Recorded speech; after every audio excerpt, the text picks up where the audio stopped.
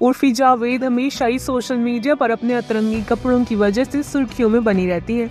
आए दिन उर्फी अपने नए लुक और ड्रेस को लेकर इंटरनेट पर छाई रहती है। अब तक उर्फी ने ना जाने किन किन चीज़ों से अपने लिए ड्रेस बनाई है। यही नहीं, वो कई बार कैमरे के सामने टॉपलेस होकर भी फैंस को सरप्राइज़ दे चुकी है। ऐसे में अब उनका एक वीडियो सामने आया है, जिसे देखकर फैंस हैरान है। इस वायरल वीडियो में फ़ैशन क्वीन उर्फी नशे में चूर नज़र आ रही है। इस दौरान उर्फी ने गुलाबी रंग की शॉर्ट मिनी ड्रेस पहनी हुई थी।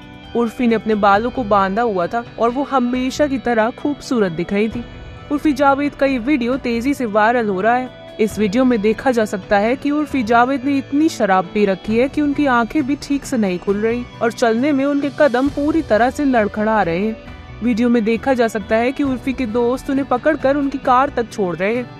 बता दें कि उर्फी जावेद बीती रात अपने दोस्तों के साथ बांद्रा में पार्टी करती नज़र आई थी, जहाँ से उनकी तस्वीरें और वीडियो जमकर वायरल हो रहे हैं।